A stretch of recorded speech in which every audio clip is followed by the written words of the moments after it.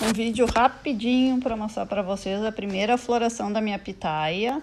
Foi uma flor só, tá? Eu não consegui polinizar, mas uma abelhinha fez festa aí dentro dela. Achei tão bonitinho que eu filmei para mostrar para vocês.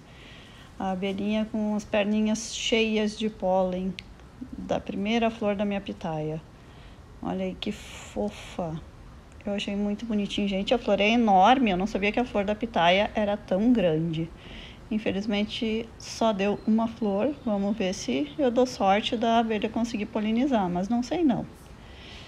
Você já tinha visto a flor da pitaia? Ela é muito grande. Parece a da dama da noite, mas ela é bem maior.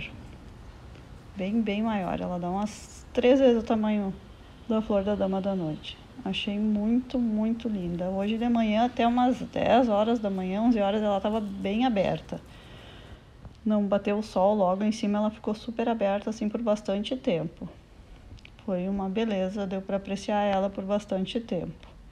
E se você gostou do vídeo, deixa aí seu like, deixa seu comentário. E a gente se vê no próximo vídeo.